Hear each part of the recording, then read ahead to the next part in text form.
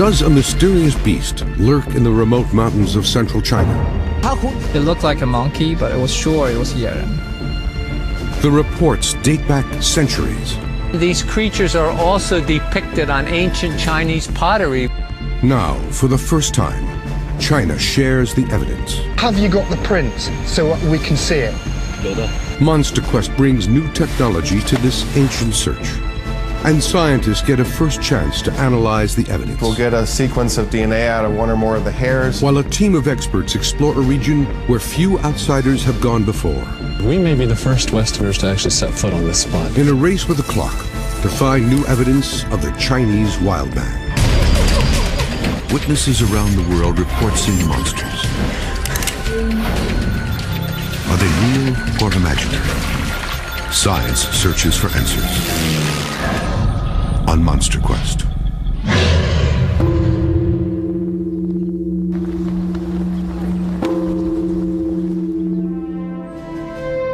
The People's Republic of China, an emerging superpower, the world's fastest growing economy, and with over 1 billion people, the most populous nation on the planet. But far from the crowded streets of Beijing and Tiananmen Square, something else makes its home here, beyond the Great Wall a creature the locals call Yeren.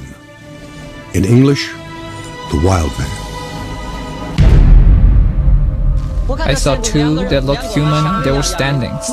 Smaller ones have been seen from say five foot five, but right up to seven foot, like over two meters tall. The sound was comparable to a human sound, but the pitch was higher. Standing upright and walking on two legs, which is the most distinctive characteristic, obviously, that that I'm most intrigued by. The footprint is 17 inches long and measured it with a ruler. There are many tales in China, particularly in the mountains. Most eyewitnesses describe the wild man as five to seven feet tall, walking upright on two legs with long reddish to brown hair. The creature is said to be muscular, but not as large as the North American Bigfoot and Canadian Sasquatch.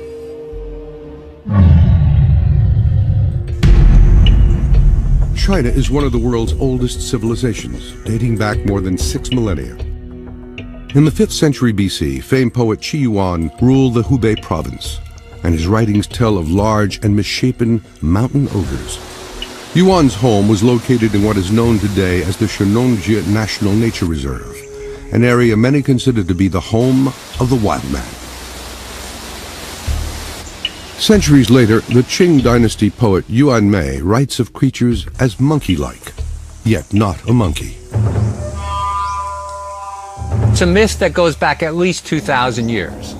Frank Poirier is a retired anthropologist from Ohio State University. In 1982, Poirier spent five weeks in China studying the endangered golden monkey. It was during this time that he first learned of the wild man from a local guide. I'm not fluent in Mandarin, so I only I picked up some of it, but not all of it. Something about Yeren, and I had no idea. I mean, not a clue as to what he was talking about. And he introduced the concept of this creature. During Poirier's visit, he was told many stories of the wild man and was even offered proof.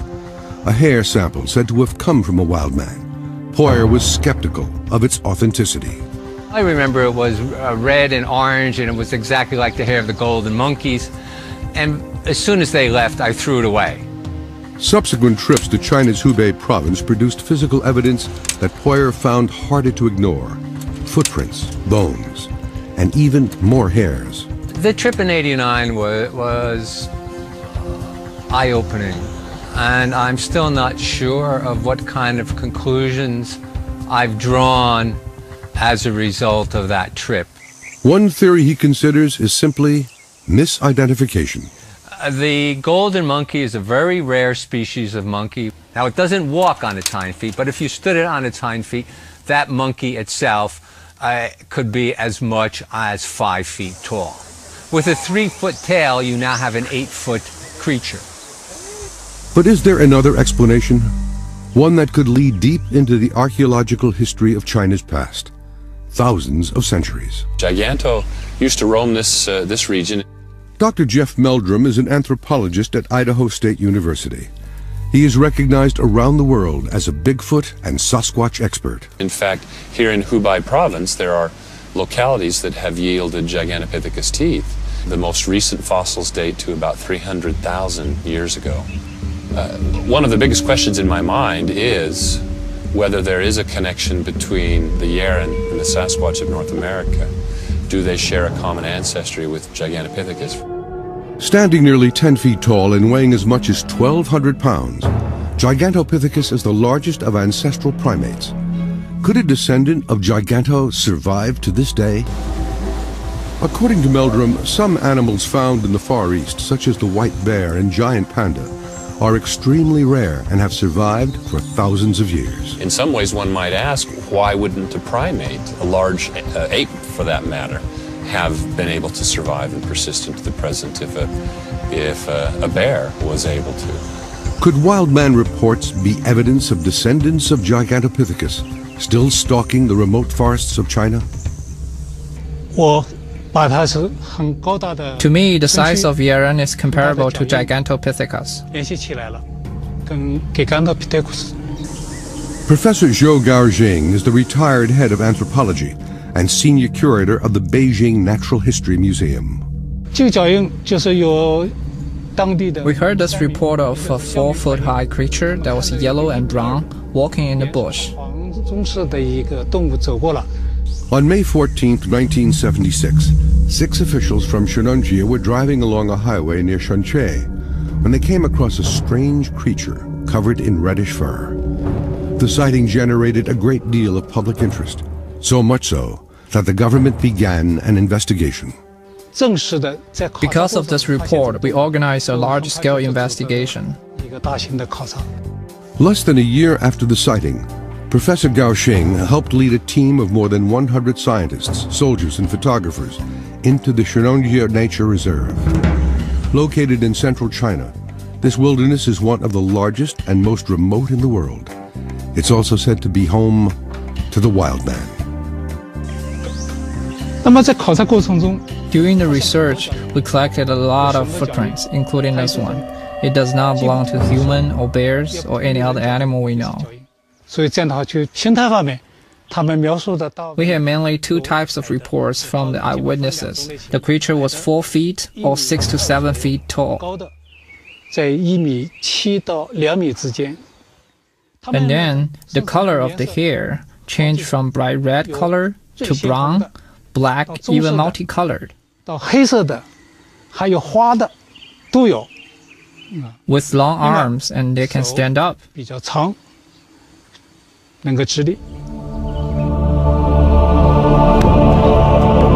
Now, in an effort to unlock the mysteries of the Chinese wildland, Monster Quest will examine the body of evidence collected over the past 30 years.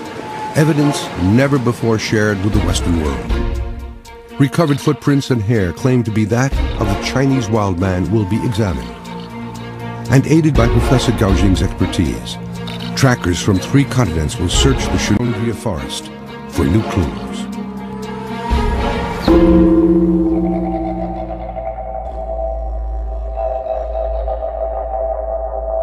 Hi, Hello, Professor Zhou. you're welcome. Pleased to meet you, Jeff Meldrum. This is the very first time a U.S. anthropologist has had a chance to examine any substantial evidence. Yes, this is interesting. Footprint. Can you tell me about this footprint? This one, just like you see, this part very large. Mm-hmm. Just like maybe it belong to the ape man. Well, this is this is very different than our Sasquatch track. And do you think that these toes are, are extended or are they are they folded under? This, this one. Yes. Okay. So curled at least. Yeah, yeah. See part maybe. It may be slid. Yeah. Okay. So the length may be somewhat exaggerated. Well, that's very interesting. Very different than what I had expected. Professor Guoxing and Dr. Meldrum will journey to the Shennongjia, the area the footprints were found, nearly 900 miles from Beijing. Joining them is British tracking expert Adam Davies. My ultimate goal is to try and prove that there's something out here. Davies is the first to arrive in Muyu, just outside the Shennongjia Nature Reserve. The small village will serve as a temporary base camp for the Monster Quest team. That's where most people say they've seen the Yeren, in and around this area, and that's where they've seen the Yeren for centuries. Ah, Mr. Shu. So good to finally meet you. Davies has enlisted the help of local tracker and amateur wildman researcher Xu Guang. Lichi River. Right.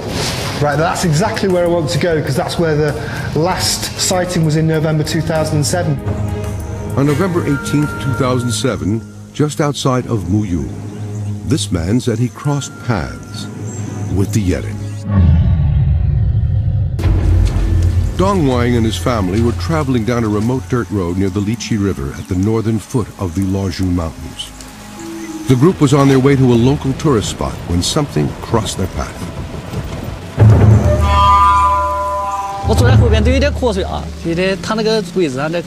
I was asleep in the van, and all of a sudden the driver shouted. They stopped the car as quickly as they could. I could see it from this side. The head looked large, maybe because of the hair. It was dark brown. Fearful but curious, Wang and a friend got out of the car to try to get a photo. I was nervous. I was very nervous. Wang says the creatures briefly stood behind some brush before making their way towards the river and out of sight. What I saw was two creatures, human-like, and they stood up.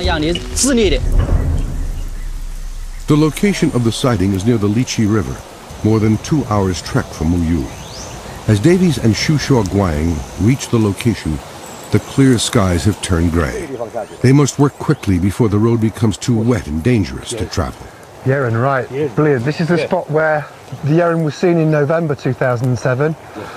What I think we should do is follow this trail down here and see if we can find a good place to set up a camera trap right by the water's edge. Less than 20 feet from the road, Davies finds plastic particles in the ground. He'd had no idea a cast had been made by Shaw Guang. Mr. Zhu, this is a really good piece of evidence and I'm very excited about it. Have you got the print so we can see it? Fantastic. As the gentle rain turns to a downpour, Davies hurries to set up the camera trap. It's one of two the team was permitted to bring into the country. I'm going to set one up here. The reason I've chosen this space is because I can see right across the river. Okay, it's good to go. Davies heads out to show Dr. Meldrum the footcasts shared by Shaw Guang.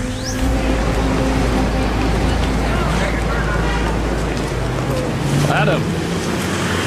Hey. Jeff. Good to see you. Nice to see you, mate. Thanks ever so much for coming. You bet. Well, it's um, smaller than I might have expected.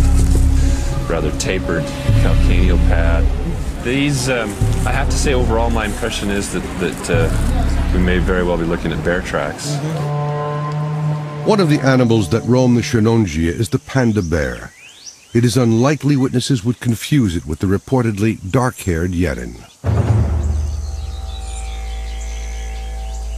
Now, there's also the possibility that what was seen had nothing to do with these tracks that were already there, present at the site. I mean, That's bears true. are common, but uh, I think there's other evidence out there, and we should uh, we should keep looking.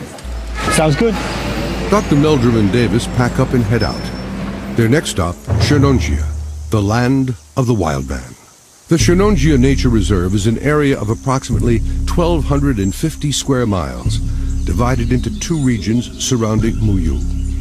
With six peaks measuring 9,000 feet above sea level, it is known as the roof of central China. Witnessing the park for the first time has really been overwhelming. The landscape is just uh, awe-inspiring. The the uh, elevations are extreme. But just as expectations are running high, there is a problem. The government officials on site won't allow them into the park. The expedition could be over before it even begins.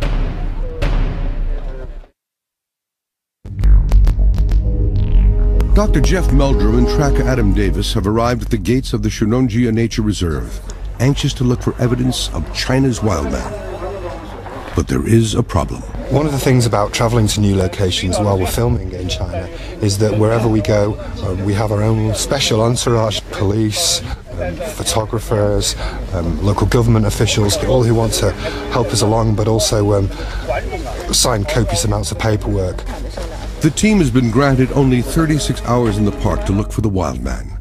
With the sun going down over the mountains, Davies is concerned about losing valuable time. Right now, um, the local police are having a bit of a discussion, a bit of an argy-bargy with our guides as to whether we can go. An hour goes by. The team finally gets the go-ahead to move forward. From here, they will take their packs and equipment to nearly 10,000 feet and begin their search for wildman evidence. Yes. Professor Guoxing offers some last-minute instructions before the team heads out. The trek to nearly 10,000 feet is too strenuous for him to join the team. From here, they will be led into the reserve by local tracker Xu Shaw Guang and park ranger Yu Hao Yuan. It is Yuan who claims to have spotted the wild man in 1994 while out on patrol. Early in the morning on April 4th, 1994, while walking a remote hillside deep in the park, Yuan saw something unfamiliar to his well-trained eyes. He was about a third of a mile away. A professional with over 15 years experience as a ranger, Yuan knows every animal in this forest. But this was something he'd never seen before. The Yeren was sleeping, so I yelled to try to wake him up to see what he would look like. He just kept lying there, looking at us. To get a better look, Yuan sat and watched the creature with his binoculars. It was like a brown, kind of reddish brown, that kind of color. It was about 16 inches higher than me, so that means over 6 feet high. After a few minutes, the creature got up and walked away. I wasn't really sure that was Yeren, but it was kind of weird that he walked off on two legs. It wasn't a bear. That was nearly 15 years ago. Yuan is anxious to show these experts where he encountered the wild man. As they hike towards their destination, they notice plenty of recent animal activity. It looks like a large uh, Um, antelope. What we've got here is an antelope track. You can see the difference between this and the deer track. Obviously, with the deer track, you saw two toes, for want of a better word, were smaller.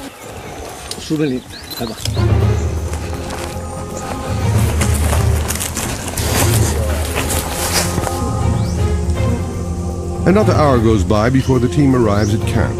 Elevation 9,500 feet. Just think, we may be the first Westerners to actually set foot on this spot. And this is a this is a really good spot to make camp. Yeah. We've got what a couple of hours before um, before nightfall. Right. Let's set up camp and then go out and do some scoutings for tonight's stay camp. Great. What we're going to do with the remaining light is go out and scout to see um, some good locations where we can use the thermal camera. Just a few hundred yards from camp, they find an ideal location, a watering hole that's teeming with recent animal activity. Well, these are great spots up, up on these saddles where there aren't really any perennial streams to speak of. The water sources are things like this, seeps and springs and ponds that the animals come to to, to drink. Both Dr. Meldrum and Davies believe that if the wild man lives in this park, like other animals, it will need plenty of food and water to survive. So this is really a perfect observational post to set up the thermal cam.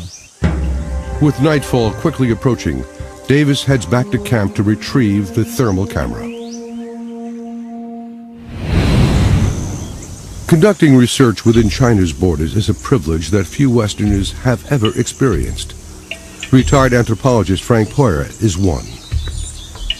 In total in China, I must have spent uh, at least a year, if not more, uh, in various parts of China. And then in 89 was uh, the larger expedition that focused specifically on the Yeren. It was on this trip that Poirier was given some interesting evidence. Uh, he said it was the hair of a Yeren. Now, after 20 years and advances in DNA analysis, there may be a way to prove the claim. Ideally, from uh, the DNA test, we'll get a sequence of DNA out of one or more of the hairs. Dr. Andrew Merriwether is a molecular anthropologist at Binghamton University in New York. He will be conducting DNA analysis on the hair to determine its origin. The process is a sort of three steps. The first is extracting the DNA from the hair. Then the next step is involves um, making copies of that DNA. And then the last step is we sequence it. We learn the actual sequence of that stretch of DNA for that hair. Finally, the hair will undergo a species identification test that will compare the DNA to other known animals. Okay, these are the actual samples Extracting DNA from hair samples yields the best results when the root of the hair is intact. You can see it's just a tiny fragment, no root bulb. As Merriwether heads into the lab to begin the extraction process, 7,000 miles away, Davies, Meldrum, and their team are moving into position for the stakeout. Nothing like this has ever been used to hunt for the Yeren before. The FLIR Thermovision Scout Imager is typically used by law enforcement agencies in search and rescue operations. We had to get special permission from um, the Beijing authorities to use this. After sunset, Davies moves on to begin the baiting of the watering hole. We've got some stuff from camp, and what we're going to do is bait this area. I'm baiting this area with, with banana skins. If I smell this, that the um, it has very strong aroma of banana, so it's very it, so the animals will pick it up. The logic behind this is we're trying to cover all the potential roots down into the waterhole with fruits that the Yeren will like. So thereby, as it walks around, it eats. We can get a good view of it as it moves around here, and using the thermal, hopefully, we'll be able to capture its image. It's pretty steep here, technical. I think I can make it. Jeff, I'm having trouble finding you. Can you just wave your arms a bit, please? Yeah, I've got you. Perfect. Perfect. Now, from here, I can see Jeff. Absolutely perfect. I've got great visibility here. I can see absolutely everything. And if um, if the Yeren does come, then I'm going to get him. They must remain completely silent. No movement or sounds of any kind, any noise could scare off the animals. Minutes turn into hours. It's nearly midnight now. Now we've been here about two or three hours. And there's been no trace of any animals so far. The hours pass with no movement. Finally, dawn begins to break. Animals are most active at dawn and dusk. These next couple of hours are critical as to whether we actually get to film it here or not. Davies waits as daylight gathers. It's been a cold, hard night, and we haven't found anything, which is obviously disappointing. Davies' frustration is shared by the entire team. Then, Yuan, the group's ranger, reveals fresh evidence. He possesses a cast of tracks left by the Yeren he spotted 15 years earlier. And this may be the most surprising find yet.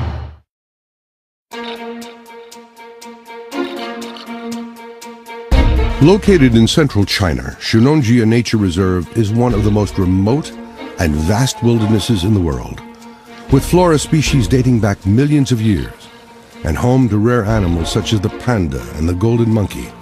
There is speculation that it is home to another undiscovered beast, the Chinese wild man.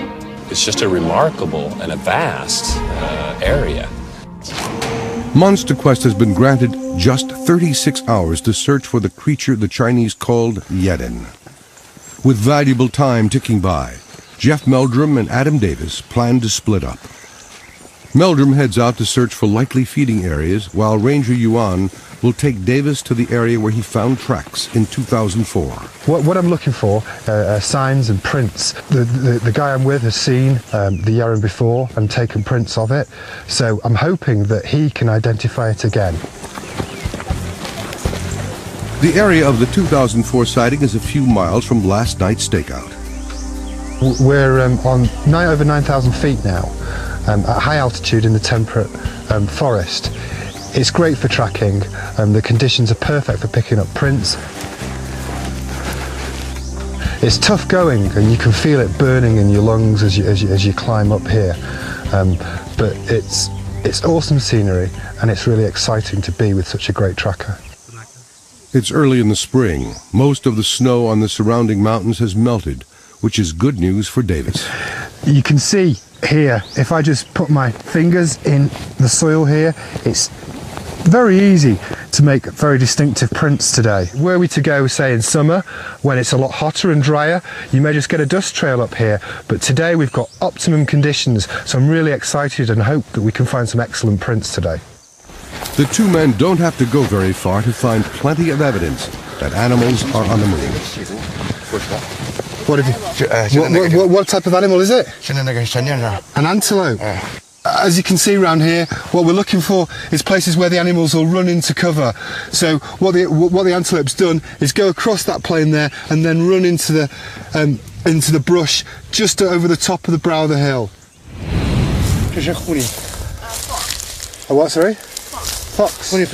Fox scat. What, what's the what's the fox been eating? Mouse, yeah. That's a good bit of fur there.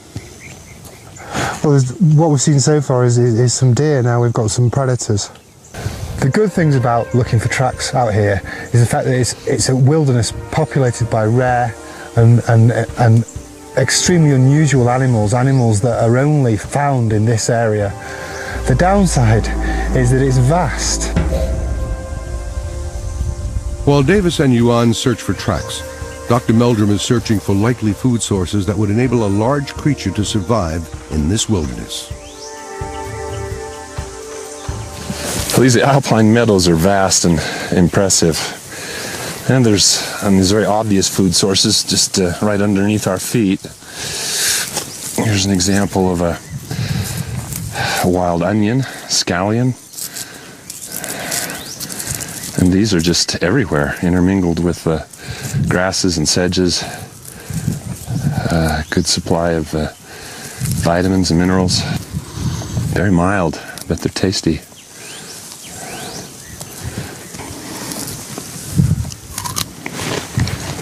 Great. And these are all over. Dr. Meldrum sees a similarity between this environment and certain regions of North America, regions where he searched for Bigfoot and Sasquatch. The, the landscapes are very, very familiar looking. The overall ecological patterns are remarkably similar. There's also, as we came up the trail, we noticed lots of burrowing activity of subterranean rodents, voles and gophers and so forth. These are a, a very, in America, are a very important food supply for, for bears and, and presumably other large omnivores. Based on what he's seen so far, Dr. Meldrum is certain if the wild man exists, this habitat could support a large primate. And so I think the Yeren could be very much at home here in these forests at the top of these mountains. Satisfied that the Chinese wild man could survive in this environment, Dr. Meldrum heads back to the town of Muyu to follow up on a report of a recent sighting. On September 15, 2005, while collecting herbs for Chinese medicine just north of Muyu, local farmer Jia Hongzhan claims to have seen the wild man. First, I heard something that sounded like a person, and then saw two creatures. One was six feet tall. Frightened, Jean tries to hide in the brush, a mere 50 feet away. I saw the face and it looked like a monkey, but more hairy. I could only see his eyes, and his nose was bigger than humans. I coughed, and that made the Yeren realize I was there, so they walked away slowly with a large stride.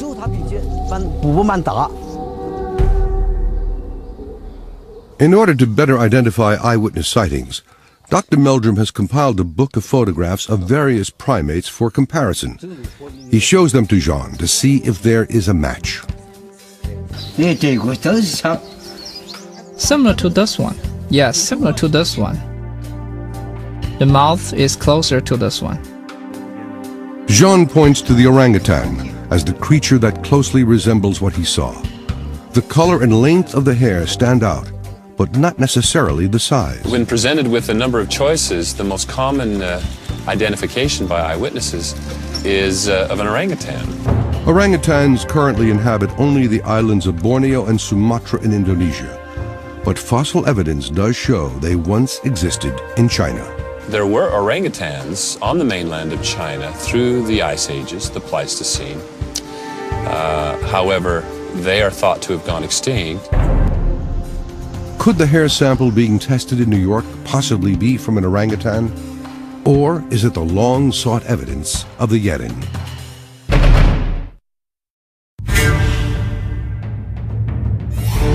Locals living near the mountains of central China say a wild man walks within the forests of Shennongjia Nature Reserve. In 1976, after numerous eyewitness reports, the government launched a major expedition into the region in search of the creature. In 1976, many officials saw the same creature at the same time. In 1977, Professor Zhou Guoxing led the expedition in Shennongjia that yielded numerous footprints, hairs, and feces, presumed to be that of the wild man. Given the report, we started an investigation, during which we found a footprint, but we are not sure if it's from the creature. That expedition sent Guoxing on a 30-year quest to find additional evidence of the creature. Working with Professor Guoxing, Monster Quest has taken up the search for this elusive beast. Well, in my hand, I have a, a couple of samples that were graciously provided us by Professor Zhou from his collection of hair samples that he has assembled over the years. These were particularly interesting, and, and uh, he thought we might like to uh, take these back to the States and, and have further analysis done. The hairs have been sent to Dr. Lynn Rogers, a biologist at the Wildlife Research Institute in Ely, Minnesota. Well, let's see what we got. Dr. Rogers has been studying black bears for more than 40 years. He is also an expert in the field of hair analysis and identification. Whoa. It glows. It's kind of a weird. I have never seen this color in nature. At first glance, the hair is nothing like he's ever seen before. He must get a closer look. Okay, five and an eighth. Not many bear hairs are that long. Let me see what the ends look like on it. Putting the hair underneath a microscope should help determine the answer. I really am not sure that this is a real hair even. The color is completely unnatural. Rogers will send the hair to this man for further identification. We handle a wide variety of materials and do um, analysis on a scale that most other people, it's just too small for them to look at. Jason Beckett is a research microscopist at Microtrace Labs in Elgin, Illinois. Trained in the discipline of forensic analysis, Beckett and his colleagues examine evidence from around the world. Beckett will examine the suspected Yeren hair under high magnification, looking for characteristics that can potentially reveal its origin. You're looking at um, pigmentation, um, various microscopical features, so cortical foci, which are essentially voids between hair cells in the cortex. Um, you take a cross section of the hair and look at that shape and how that changes over the length of the hair shaft. These features of the unknown hair need to be evaluated against samples from known animals. We maintain a collection here at Microtrace of over a thousand animal hairs, and we use these to compare our known stamp standards to the questioned you know, material that we have. As the process of identifying the origin of the hair sample given to Dr. Meldrum intensifies, the DNA testing being performed on the Poirier sample is proving more difficult than anticipated. If this were from some unknown missing primate ancestor, then it should look be not similar to any other living primate, but still be a, obviously a primate sequence, so closer to primates than any other species on the planet. But as of yet, the extraction has not proven successful. Um, the hairs don't have bulbs on the end, so they don't have the root, and really 95 or 99% of the DNA is in the root, and there's just a very tiny, tiny amount of DNA in the shaft. And all we got were shafts. And we do have a fair number of shafts, so there's still some hope. I've certainly gotten DNA out of shafts in the past, but the odds go down dramatically if you don't have the root. Another issue complicating the analysis could be the way the hair was extracted. DNA could be damaged in the sense that um, after you die, the cells break down and the DNA itself breaks down from chromosomes that are hundreds of millions of bases long down to pieces that are often as little as 500 bases long or 200 bases long or 100 bases long. And eventually it gets broken down so small that we can't recover it or we can't sequence it. So it may be somewhere on that continuum of, of damage that's happened after the, the hairs died and fell off the individual. The results are disappointing, but not surprising given the age of the hair samples. And we don't see any DNA in these, these lanes. In this case, this primer set did not work for the samples. But it was, we did the chemistry correct because the, the test samples worked fine. The, the ones, the positive controls worked, and the negative controls were negative, so it wasn't contaminated. So it's uh, back to the drawing board after this to try and see if we can change the conditions to see if there is any DNA that might be in here that we could make work. Merriwether will continue his efforts to coax viable DNA from the 20-year-old evidence. Meanwhile, tracker Adam Davies is headed to the location where a local farmer says he saw a creature in 2005. The site is just two miles north of the small town of Muyu. Davies wants to set up the last of his two camera traps. What I'm going to do is lay it on a tree, again on, a, on, on, a, on, a, on an area that traverses two trails at an elevation with the water source down below. So I'm hoping that if there's Yeren active in this area, they're going to have to walk through here and obviously they need to drink.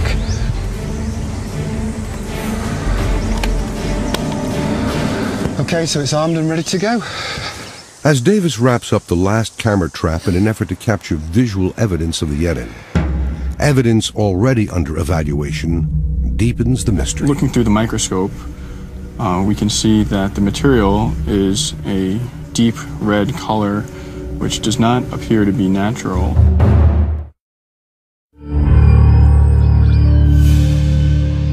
A creature that locals call the wild man is said to be roaming the mountains of central China. Sightings that date back more than 2,000 years suggest a creature that is 5 to 7 feet tall, covered in reddish to brownish hair, and walks on two legs with a primate-like gait. This man says he saw two creatures walk in front of him while driving down a remote dirt road. This park ranger says a wild man he saw sleeping in the park left behind these footprints. This farmer says he came within 50 feet of a wild man. Scared for his safety, the farmer nervously ran off.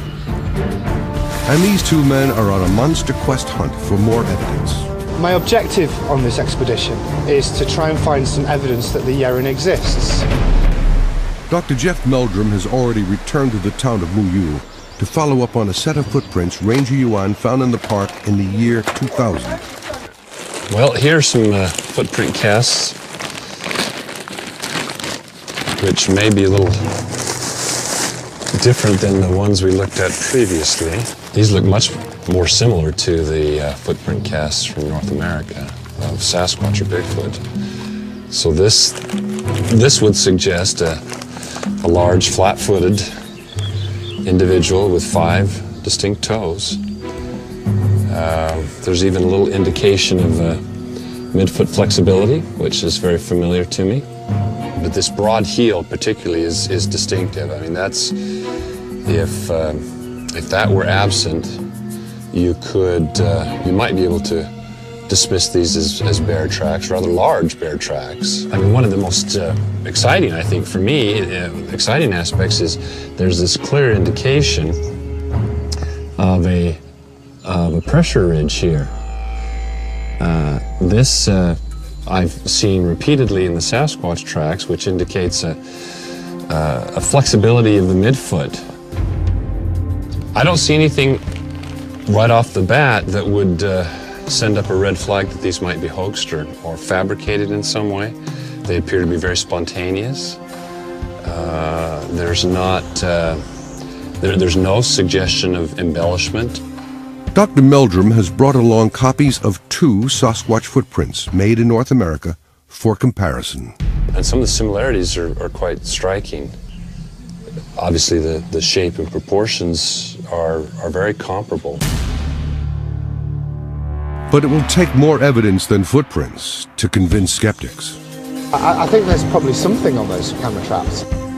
The first camera was set on day one of the expedition near the Lichi River located two hours east of Muyu.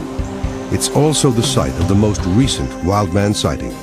We may, if we've got lucky, um, get an animal, um, particularly around the Lichi River where there's been um, a number of bear activities.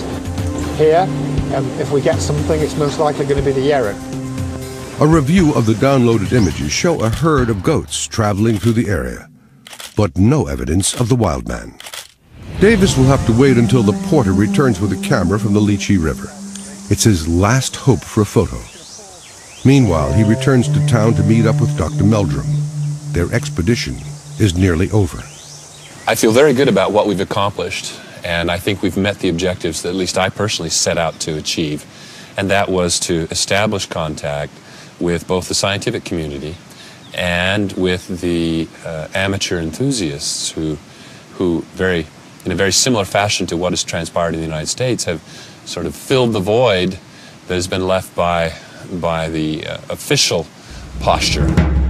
The porter has returned with a final camera trap. Davies' optimism is quickly dashed. There are no photos of the wild man.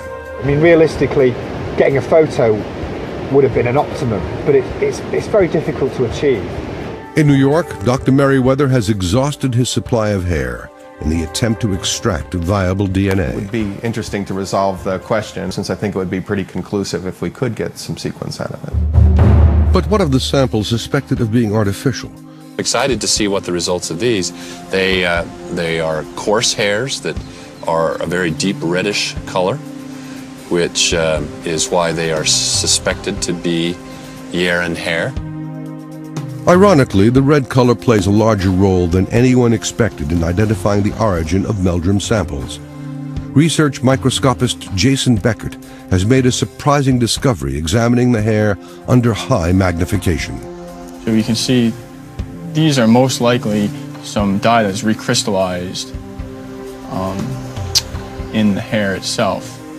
So this would be um, conclusive proof that this is an artificial uh, coloring treatment uh, this is not a natural uh, color, and the dye is something that would have to have been done intentionally by uh, humans to give the hair this color. And what species did the hair come from?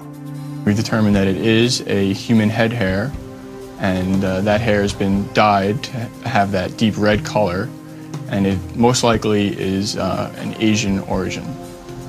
Asian hairs tend to have a round cross-sectional shape as opposed to a more oval or even a flattened cross-sectional shape.